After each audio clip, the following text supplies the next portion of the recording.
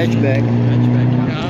Omdat iedereen kan op een kleine auto rijden. We hebben een, eh, die in een kleine auto gemaakt.